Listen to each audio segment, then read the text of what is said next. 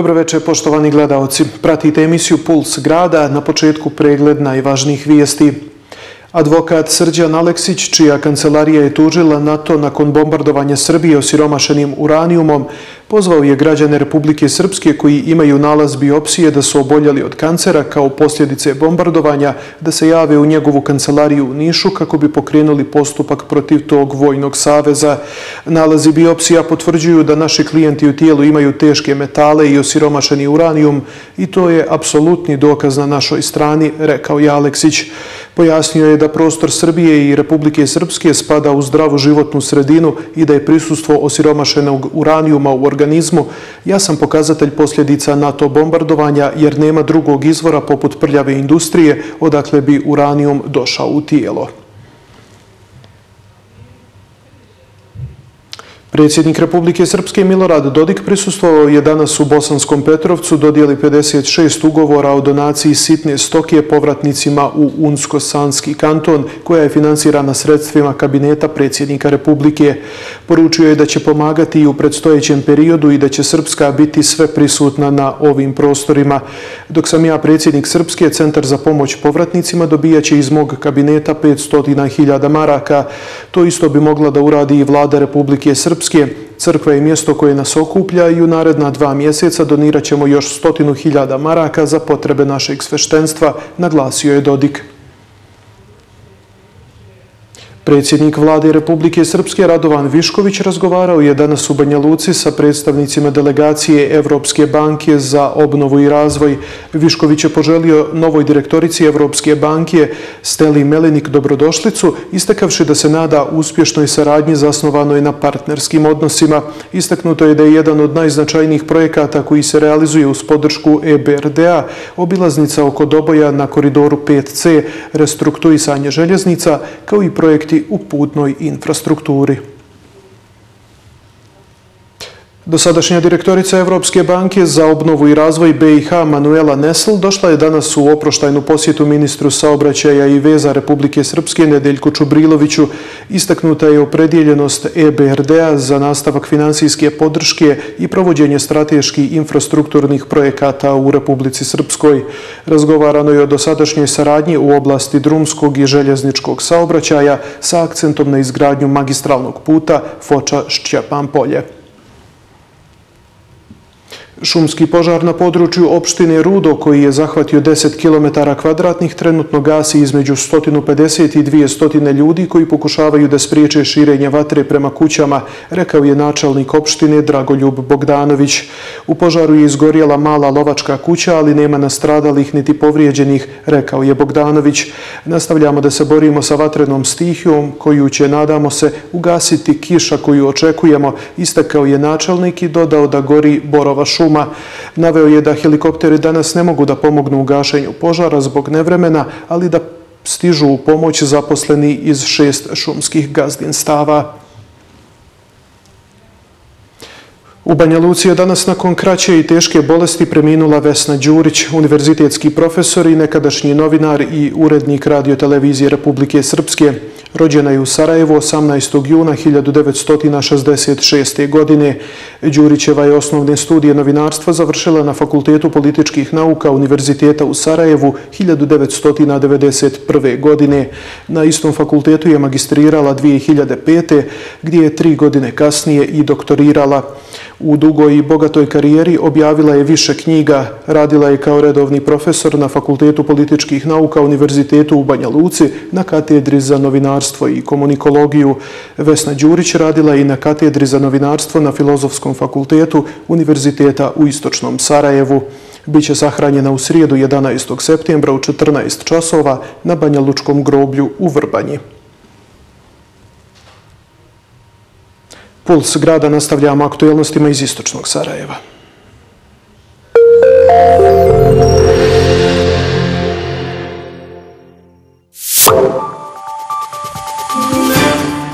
U istočnoj Iliđi obilježeno 29 godina od nekažnjenog NATO zločina u Republici Srpskoj.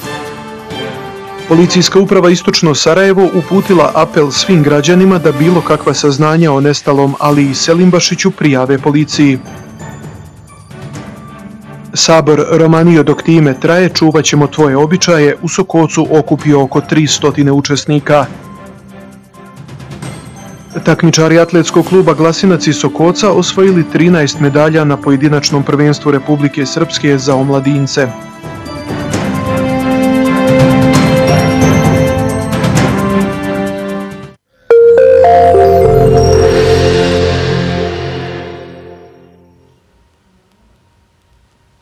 U istočnom Sarajevu danas je obilježen dan sjećanja na žrtve NATO agresije na Republiku Srpsku na mjesnom groblju Grlica u istočnoj Iliđi.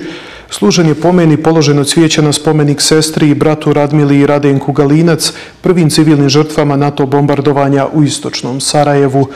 U hramu Svetog Petra Dabrobosanskog služen je parastos za sve poginule Srbe u NATO agresiji na Republiku Srpsku, a potom je održan prigodan umjetnički program. U NATO bombardovanju Republike Srpske od 30. avgusta do 14. septembra 1995. godine ubijeno je najmenje 50, ranjeno 130 civila i vojnika, pričinjena je ogromna materijalna šteta. Bačeno je 1026 bombi i navođenih raketa ukupne težine oko 10.000 tona eksploziva sa osiromašenim uranijumom, čije posljedice i danas trpe građani Republike Srpske.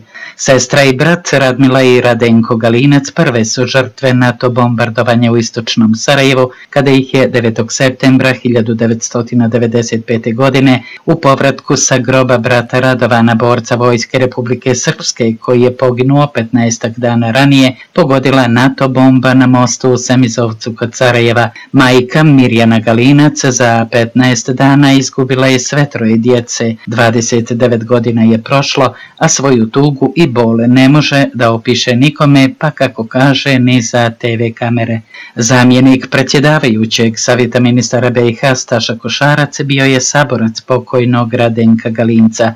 Živa su sjećanja na dan kada su Radenka i njegovu sestru Radmilu pokosile NATO bombe, kaže Košarac, istakavši da je NATO agresija na Republiku Srpsku zlo koje je trajno urezano u pamćenje srpskog naroda i da Srpska nikada neće dati saglasnost za članstvo BiH u NATO. Radenko je moj saborac, bili smo zajedno u vojnoj policiji 3. Sarajevskoj, taj dan smo bili to jutro zajedno. On je došao ovdje u Vojkoviću bratu na pomen. Tu noć smo obaviješteni da se desila na tom bombardovanju lokalitetu Semzovci, tačne Ljubine.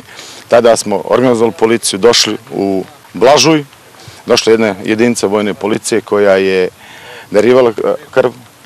Bilo je kod nas optimizma da će Radenko preživiti. Već smo imali informaciju da mu je sestra preminula. Nažalost, i Radenko je posle toga preminuo. Jedan od preživjeli je komandir naše, naše jedinice čete vojne policije 3. Sarajevske Borislav Kondić, koji je danas živ naše opredelenje, naš stav je bio tome da pokažemo naše jedinstvo, da možemo da obilježavamo ovakve značajne datume. Ono što želim da se posebno zahvalim, to je agenciji Srna koja je pokrenula jednu inicijativu koju sam ja tada kao e, parlamentarac u predstavničkom domu podržao kako bi odbor za njegovanje e, tradicije odbrane otpeženskih ratova ovaj datum upisao kalendar obilježavanje. Ovo potvrđuje e, naše opredelenje i spravnost naše odluke da nikad ne dozvolimo NATO integraciju s obzirom na činjenicu da e, bombardovati sa osiromašenim uranijom je krajnja namjera. Danas imamo stanovnike tada Srpskog Sarajeva koji umiru kao posljedica granatiranja odnosno bombardovanja uranijom. Danas imamo situaciju da djeca ispaštaju i mi smo duboko svjesni činjenice da je NATO neprijateljski neprijateljski bio nastrojen protiv srpskog naroda i danas ne možemo prihvatiti nikakvu drugu priču kao to bož da se NATO promijenio i da bi dobro bilo da mi budemo dio strukture NATO. Nikada Republika Srpska neće prihvatiti tako nešto. Gradonačelnik Istočnog Sarajeva Ljubiša Ćosić ističe da su posljedice NATO bombardovanja projektilima sa osiromašenim uranijumom ostavile trajne posljedice na zdravlje ljudi u Republici Srpskoj, posebno Sarajevskih Srba. Danas bi bilo dobro na ovaj dan kada je stradala porodica Galinas, brat i sestra u NATO bombardovanju 1995. godine. Bilo bi dobro kada bi i neka druga suza se srpske pala. I ovo kažem e, zaista zato što e, ne postoji niko u međunarodnoj zajednici u ovoj zemlji koji će na današnji dan reći da su danas stradali više od 70 civila, da je stradalo nedužnih u periodu 30. augusta 20. septembra 1995. godine samo zato što su bili Srbi. I danas samo mi obilježavamo taj datum, ali mi nećemo nikad prestati da ga obilježavamo i prenećemo ga i djeci, i našoj djeci, i djeci naše djeci. Kad su vidjeli da ne mogu da se vladaju vojsku Republike Srpske, kada su vidjeli da ne mogu da promijene ni na koji način tog rata, kako ovdje u Srpskom Sarajevu, tako u cijelom, cijeloj Republike Srpskoj, onda su uključili najjaču svjetsku silu. Svjetsku silu koja nam i danas ostavlja zlo i posljedice nakon tog bombardovanja prije 29 godina. I danas ljudi koji su u Hadžićima, krstarećim raketama i raketama e, iz aviona i na cijelom Srpskom Sarajevu bombardovani, danas i oni i njihovi nasljednici trpe štetu zbog posljedica bombardovanja siromašnim uranijumom. I džaba što je pokazano i dokazano i džaba što smo i tih dana stradali, džaba što stradavamo i dan danas niko neće da kaže. Ali mislim da e, naše pamćenje i sjećanje odnosno pamćenje i sjećanje ovog naroda će biti jače i treba da bude jače od toga što oni ne žele da se sjete. I upravo to treba da bude poruka sa današnjeg obilježavanja. Zamjenik predsjednika predsjedništva Boračke organizacije Republike Srpske Goran Šehovac poručio je da se dani kada je NATO izvršio agresiju na Republiku Srpsku i počinio zločin ne smiju zaboraviti. Svi mi znamo posle 35 ofanziva žestokih na Srpsko Sarajevo i svi ostali manjih napada na Srpsko Sarajevo, kad nam ništa nisu mogli, e onda sve svjetske sile sa podvojstvom Amerike udarili na Srpsko Sarajevo i na Republiku Srpsku.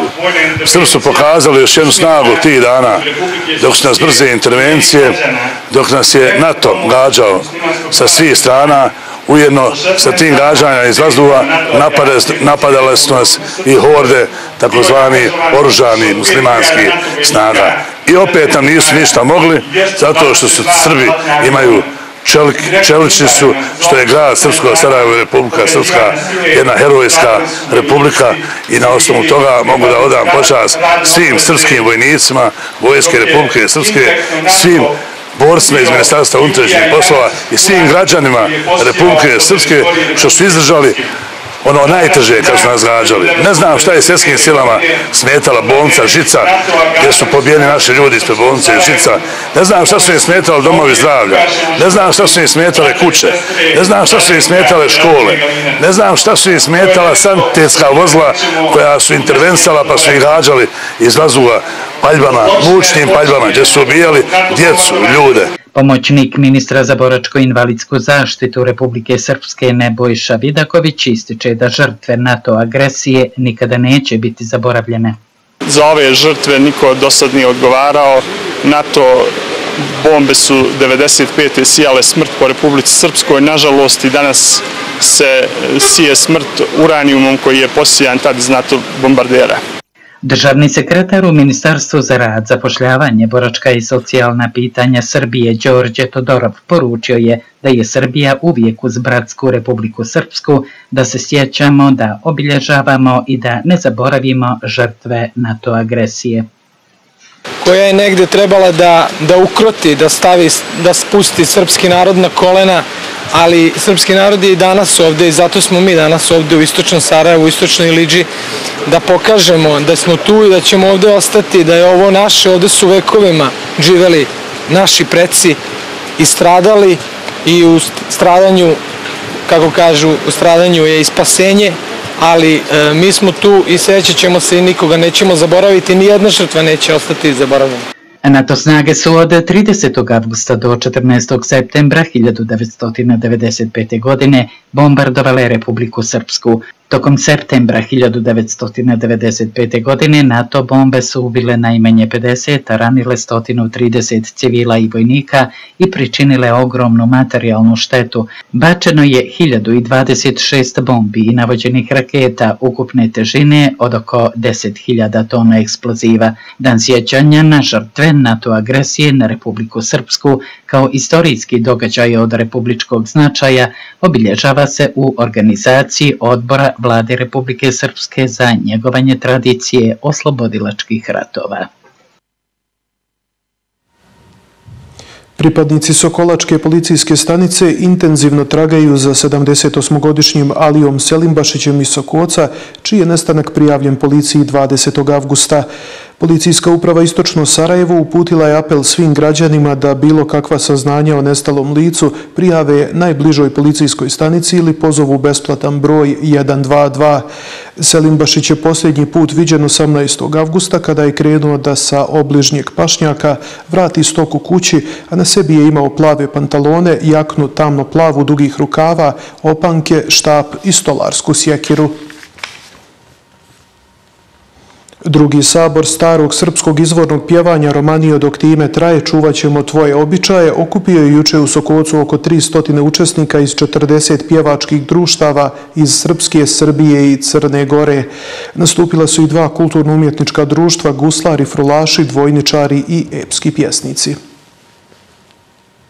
Drugi sabor starog srpskog izvornog pjevanja Romanio dok ti ime traje, čuvat ćemo tvoje običaje, okupio je juče u Sokocu oko 300 učesnika iz 40 pjevačkih društava iz Srpske, Srbije i Crne Gore. Nastupila su i dva kulturno-umjetnička društva, guslari, frulaši, dvojničari i epski pjesnici, učesnici prezadovoljni organizacijom sabora, ali najviše im se svidjelo druženje jednih sa drugima postojimo puno godina, jedna smo od prvih grupa koje smo smogli snage da krenemo sa oživljavanju ove naše izvorne pjesme i hvala Bogu rodilo je plodom. Posle naše grupe pojavilo se puno i muških i ženskih izvornih grupa. To je čuvanje naše tradicije Sarajevsko-Romanijske regije koja je poznata po svemu i koja je čuvena. Mislim, čuvamo ovaj, sve naše vrijednosti. Želja nam je da ovom izvornom pjesmi se bavimo prvo najviše izvornom pjesmom, mada smo i emisija i mnogo, mnogo običaje zapisano i CD-ova i DVD-ova, mnogo je kilometara pređeno, mnogo pjesama otpjevano. Želja nam je da ovom izvornom pjesmom koja je, koja je baš idealna i za svaku prigodu imamo i za svadbe i, i svadbe i vjenčanja i, i rođendane, za sve običaje imamo prigodne pjesme. Jeli nekada nije se puno pričalo, sve se pjesmom oživljavalo i čuvala naša tradicija. E, Kulturno društvo Kozara iz Gornjih Pogradaca je e, jedno od najstarijih društva u našem regionu. Postojimo od 1926. godine. Dakle, za dvije godine slavimo zlatni jubilej 100 godina. Kut trenutno broji preko 130 članova raspoređenih u 7 sekcija. Od tog imamo dvije pjevačke grupe, e, mušku i žensku. Danas su na Sokolas naš bratski je došla naša muška pjevačka grupa koja se predstavi sa dvije pjesme. Inače, mi dolazimo na Sokolas redovno, imamo dvije grupe s kojima se družimo ovde. E, Kud Zavičaj i udrženje Tomo Borovina e, sekcija Sokolac i rado volimo doći sa Kozare ovdje da predstavimo našu pjesmu tradicionalnu, a također i oni dolaze kod nas i predstave vašu pjesmu i tako da je to, nadam se da će biti dugo, dugo godina. Mi smo oni nesretni Srbi što smo po Dejtanu napustu svoje vjekovno ognjište koje smo junački odbranili, to svi znate, oni dole opštine u onom Sarajevskom polju, evo 30 godina kako smo otišli od tuda. Nepunih, ali evo tu je 30 sa gazi. Čuvamo tradiciju i običaje Sarajevskog polja. Pjevamo najteže sarajevske pjesme. Onaj popularni sarajevski dvojac. Peti put i zastupce u Vojkovićima. Prvo mjesto. A inače, evo gdje god dođemo da je takmičarski dio. Vjerovatno taj žiri dobro zna ocijeniti pa nam dadne to prvo mjesto. Pa nismo loši ni u grupi, ali dvojac je najpoznatiji u regionu i širi. Danas nam je čas i zadovoljstvo što smo danas ovdje na ovoj našoj slobodarnoj romaniji da se odužimo brać, pošto oni su nama došli, mi smo evo već šesti tradicionalni sabor napravili u Bratuncu, čuvajući naše običaje i tradiciju tog našeg Sarajevskog polja. Organizator sabora starog srpskog izvornog pjevanja Romanio dok ti ime traje, čuvaćemo tvoje običaje, je Udruženje za srpsko izvorno pjevanje Glasinac Tomo Borovina Sokolac. Predsjednik udruženja Milenko Kovač zadovoljan je kaže odzivom brojnih učesnika i nada se da će ovo druženje prerasti u tradiciju pjesmom i običajima na Sarajevsko-Romanijskoj, Gornje Drinskoj i Hercegovačkoj regiji, kao i Durmitovskoj regiji, sačuvamo sačuvamo pjesmom i kao što navedoh e, od zaborava sve ove naše srpske običaje. E, danas održavamo sabor ovaj, gdje će prisutovati e, pozva, ima pozvanih preko 40 grupa pjevača i udruženja i kulturumičkih društava. Između ostalo će nastupiti kulturno-umičko društvo iz Mokrog. Nastupit će tri guslara. E, e, Mali Čolaković e, će nastupiti u guslama. Nastupit će Ilija, il, ovaj, Miloš Drakul koji je prvak, e, omladinski prvak gusala Republike Srpske od 13 do 18 godina. Također će nastupiti i naš guslar, član našeg udruženja Ilija Bakmaz. Danas će biti frule, bit će dvojnica, tako da će biti program razdovrsa. Sabor je organizovan uz podršku Gradske uprave Istočnog Sarajeva, poslanika u Narodnoj skupštini Republike Srpske i Sokoca Strahinje Baševića, specijalne bolnice za psihijatriju, opštinske uprave, kao i privrednika iz Sokoca, Pala i Istočnog Novog Sarajeva. Takmičari atletskog kluba Glasinac i Sokoca osvojili su 13 medalja na pojedinačnom prvenstvu Republike Srpske za mlađe juniore i cicibane održanom juče u ovoj opštini. Osvojene su po četiri zlatne i srebrne i pet bronzanih odličija. Trener Glasinca Neđo Đurović rekao je da su zlatne medalje osvojili Katarina Kezunović u bacanju kugle, Aleksa Bakmaz u trci na 110 metara sa preponama, Marko Memedović u bacanju koplja i bacanju kugle. Srebrne medalje pripale su Emiliji Radonjić u trci 100 metara sa preponama, Katarini Čeranić u bacanju koplja, Sofiji Jovanović u skoku uvis i Aleksi Bakmazu u bacanju diska. Bronzane medalje osvojili su Emilija Radonjić u skoku udalj, Katarina Kezunović u bacanju bacanju diska, Mihajlo Krstajić u bacanju koplja te ženske štafete. Prvenstvo je okupilo 200 atletičara iz 15 klubova.